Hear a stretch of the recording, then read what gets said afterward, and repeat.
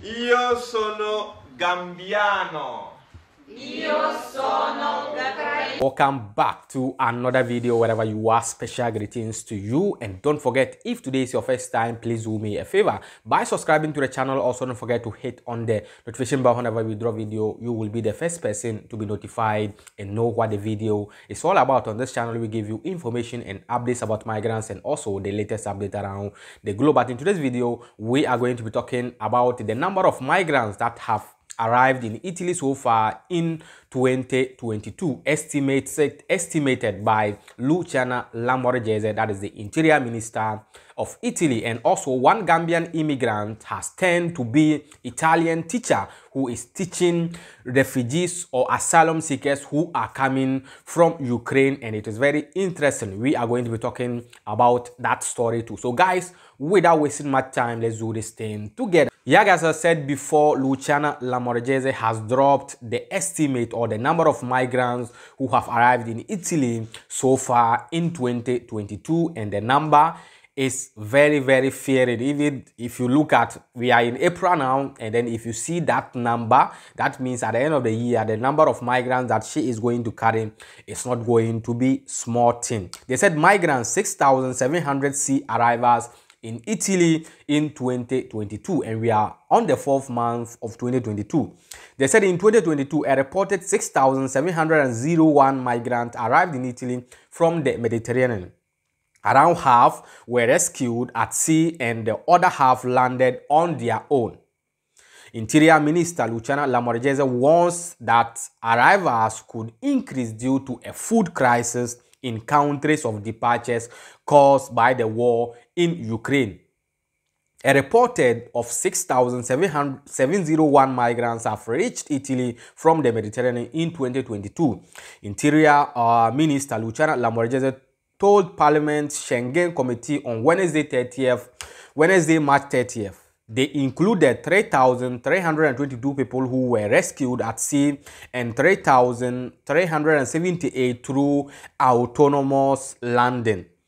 Those rescued at the sea included 1,595 persons who were rescued by private NGOs. Lamorgese recalled that the majority uh, countries to depart from Libya, that is 4,236, and Tunisia 1,494. Although lately pressure from these two countries has reportedly decreased.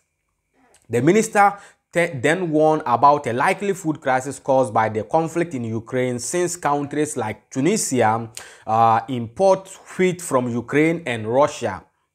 This could have an impact on migration flows, noted the Interior Minister.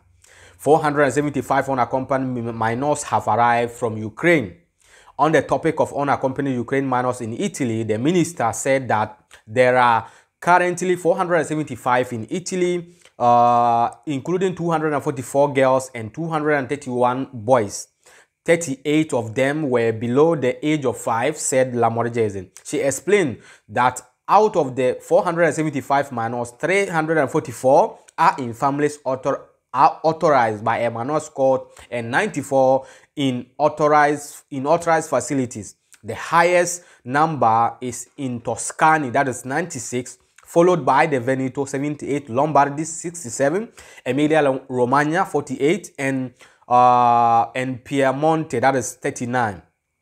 Now they said the Italian legislation, the minister said, does not allow to consider family and friends as guidance.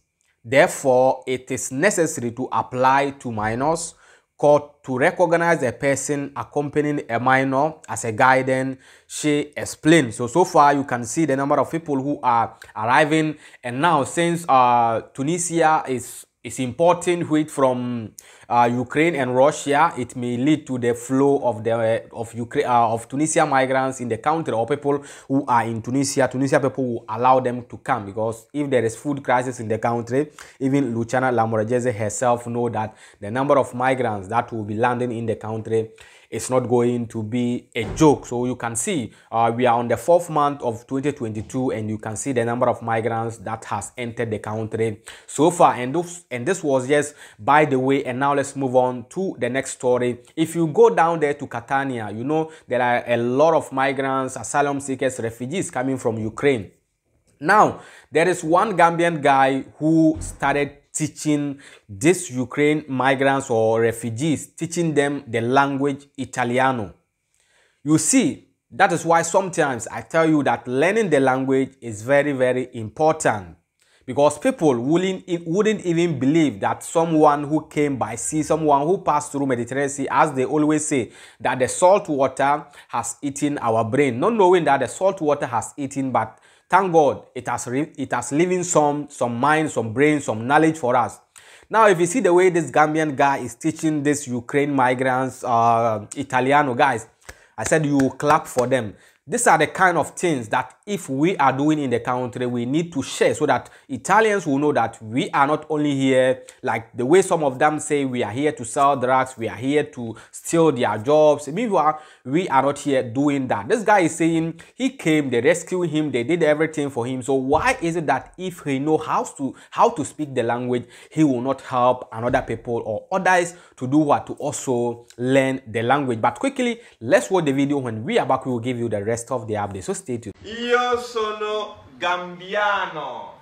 Io sono ucraino. Lezione prima, verbo essere, il più usato nella lingua italiana. Con tono spassoso Ebrahim insegna ciò che ha da poco imparato a scuola e ad ascoltarlo, i volti di un paese in fuga. Noi quando siamo arrivati qua siamo stati accol- uh, accolti con le braccia aperte e anche noi vorremmo fare lo stesso per gli altri. Lungo la spiaggia che porta a Catania, alla colonia Don Bosco, la solidarietà mostra il suo volto migliore, quella di esuli che aiutano altri esuli, con la complicità che può avere solo chi, in passato, ha vissuto la stessa solitudine. Ti manca la terra, la felicità, l'aria che respiri, eh, la tua cultura, i tuoi amici, familiari, ti manca tante cose perché non c'è un posto come la, la, la propria terra. Saranno famiglie siciliane ad accogliere Carina e gli altri. Sono arrivati qui dopo un viaggio di 34 ore dalla Polonia. Su quel pullman erano in 50, per lo più donne e bambini, insieme a tre cani e due gatti.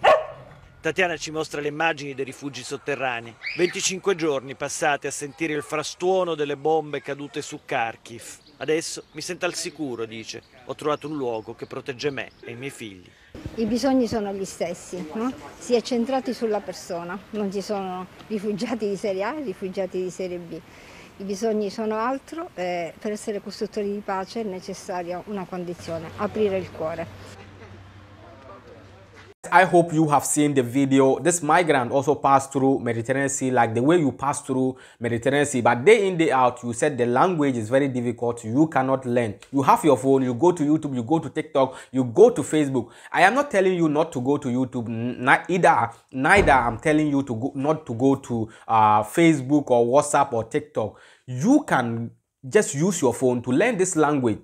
Do you remember the, la the last time your lawyer told you to look for a translator? Do you know, do you remember how much you paid the translator? What of if like you understand the language, would you have paid that money to the translator? But since you don't want to learn, you said the language is difficult, always you have to look for translators and they will collect your money because the translator will not leave his or her job and come and translate for you unless you pay him. You understand? So let's try to learn the language because it is very, very important. If you don't even want to use it, learn it when you are going back to your country. If you reach their airport, leave the language for them and go to your own country you don't have any problem but so far as we are in the country please we need to try to learn the language so bro wherever you are big ups to you i really like what you are doing because these are the kind of things we need to do in the country and we need to show them that we are also doing amazing job in the country. So and this is the update i have for you today. The name still remains official cracker fact news. If you have not subscribed yet